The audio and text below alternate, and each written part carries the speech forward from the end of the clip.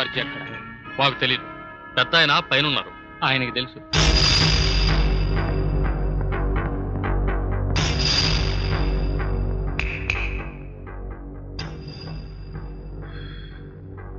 మళ్ళీ కల్లోకి వచ్చావా? థ్యాంక్స్ నేనేమి భయపడ్ను. ఇది కళ అని నాకు బాగా తెలుసు. జార్జ్ ఈ రోజు నా చేతిలో చావబోతున్నాడు. ఆహా! చంపుకో చంపుకో. ఇది కలే కదా.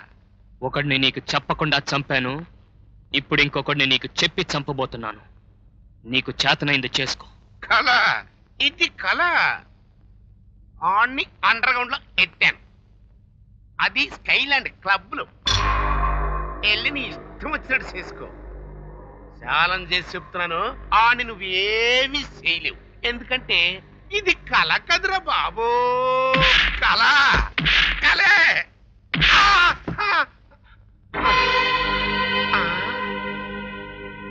కాల్లో కొడితే నెత్తురు వచ్చినట్టు అబ్బా! సార్ సార్ ఇది కల కాదు సార్ నిజం సార్. వాడు మా కళ్ళ ముందే వచ్చి మిమ్మల్ని కొట్టెళ్ళాడు సార్. కళ కాదా? కాదండి. కొట్టు. థ్యాంక్స్ ఏది కల ఏది నిజమో తెలియక నా మస్తిష్కం పగిలిపోతుందిరా బాబు. ఆ! కళ అనుకున్నాడు అడగకుండా చాచిగట్టు చెప్పేశారా అయిపోయాడు. అయిపోయాడురా?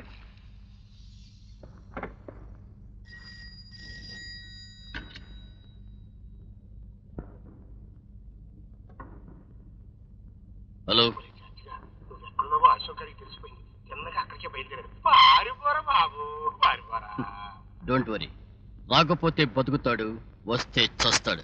వాడి గురించి మీరేం భయపడకండి సార్. ఆ.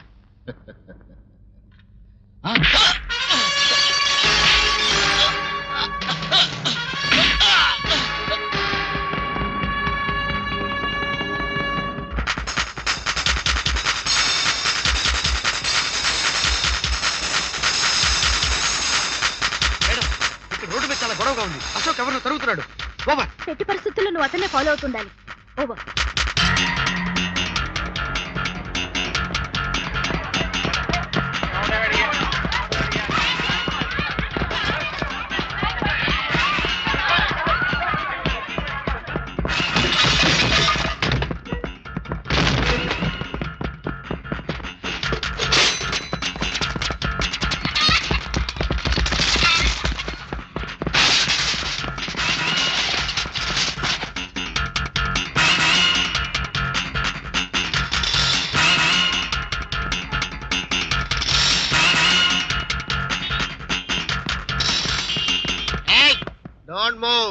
ఎలా ఉంది నా లిరిక్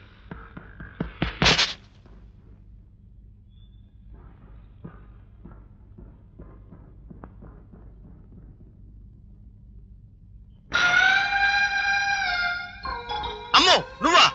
ఎన్ని పర్సులు కొనుక్కోవాలా నేను? ఇతరుల పర్సులు పోతే పోలీసులు చెప్పుకుంటారు. పోలీసుల పర్సు పోతే ఎవరికి చెప్పుకుంటారా? ఇతరుల జోబులు కొట్టి దొరికిపోతే మిమ్మల్ని బ్రతిమాలుకోవాలి వాళ్ళని బ్రతిమాలుకోవాలి. అదే మీ పర్సు కొట్టేసాను అనుకోండి మీ పర్సు నుంచి సగం మీకు ఇచ్చేస్తే అప్పుడు మీరే నన్ను వదిలేస్తారు.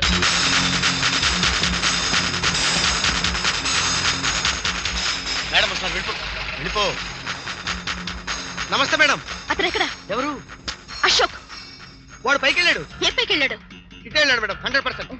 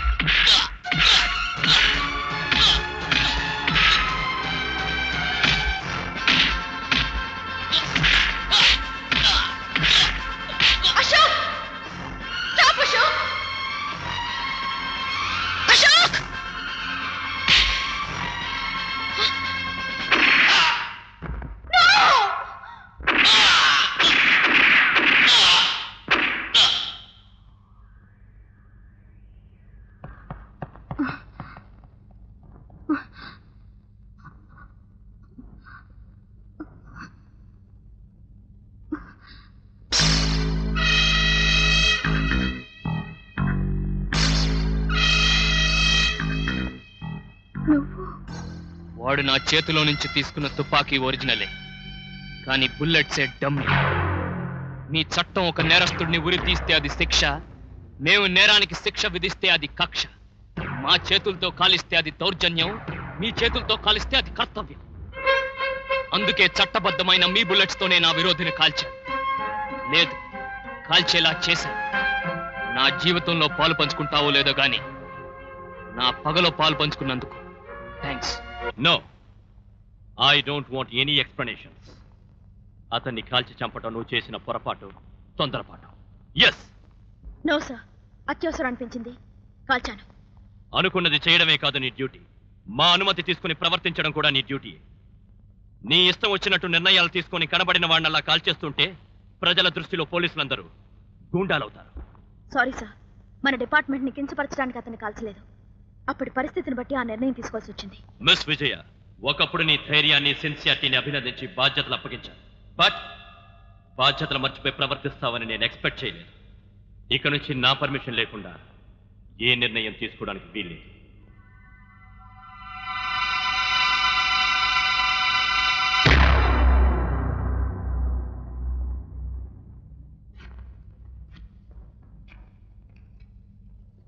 విజయ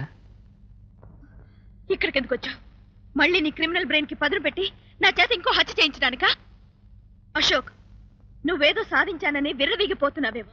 హ్మ్, దౌర్జన్యం ఎంతో కాలం సాగదు. ఇది ఎప్పటి నుంచో వింటున్న పాత మాట. చివరికి గెలిచేది న్యాయమే. అయితే నేనే గెలుస్తాను. అశోక్! విజయ నా ఉద్రేకాల్ని కక్షల్ని పక్కన పెట్టి అద్దెంట్లో నువ్వు ఇచ్చిన అప్పుతో ఆనందంగా నవ్వుతూ బతికిన ఆనాటి అశోక్గా నీతో మాట్లాడాలని వచ్చాను. ఈరోజు జూలై ఫిఫ్త్. ఏ? ఈ రోజు ఇంకో హత్య చేస్తానని చెప్పడానికి వచ్చావా? కాదు. నీ పుట్టినరోజని చెప్పడానికి వచ్చాను.